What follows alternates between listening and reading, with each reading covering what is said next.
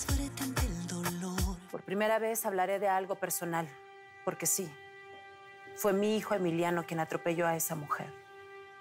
Leticia, en las redes sociales circulan muchas versiones. Algunos dicen que el semáforo estaba en rojo para tu hijo. Otros, que el semáforo estaba en verde para él. Estaba en verde para él. Lo cierto es que Lidia Corona, porque para nosotros ella tiene nombre. Y no, no solamente es una vendedora de tortas o, o una anónima como algunos lo nombran.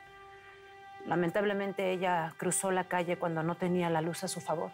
Pero está involucrado tu hijo. Y tú eres la conductora estrella de noticias de nuestro canal. ¿Crees que por eso estén siendo más severos con él? No, no, nosotros fuimos a hacer ya las declaraciones y las autoridades lo trataron como a cualquier persona que se ve involucrada en un accidente de este tipo. Eso es lo justo. Sí, lo sabemos y por eso Emiliano, mi hijo, dio la cara. En este momento el caso se encuentra en investigación. Mira, tenemos comentarios de nuestra audiencia que nos sigue por redes sociales. Te voy a leer algunos. Leticia, estamos contigo. Leticia, mucha fuerza.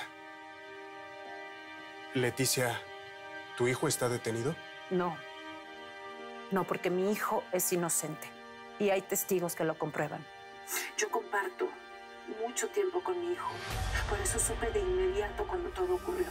Lo supe antes de dar la noticia. Pero... Eres una mentirosa. No sabías nada porque no te llamé, porque nunca puedo contar contigo. No, la ley de las cámaras, sí. Por supuesto que mi familia está sufriendo mucho por lo que está pasando con Emiliano.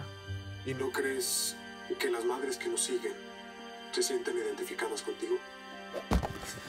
Soy un estúpido tema para tu noticia, es todo lo que soy. Por el dolor que está pasando mi familia en este momento. Emiliano es un gran joven. Su único error fue tener este accidente.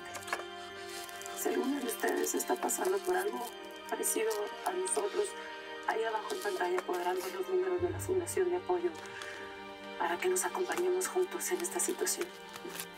Bien maquillada y peinada, pero bien podrida por dentro, porque eso es lo que eres, mamá. Estás hueca. Eres falsa.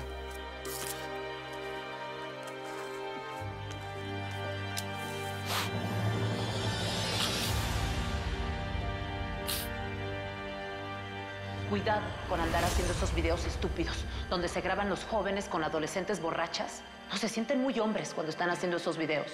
Y después, esos mismos son los que los hunden.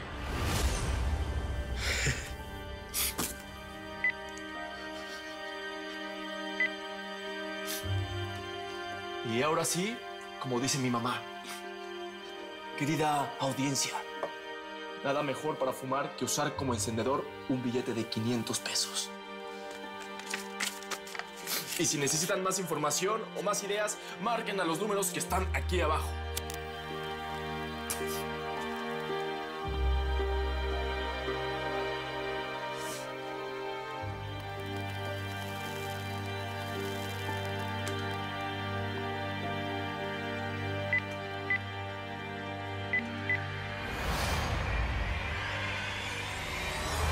Que no llora por amor.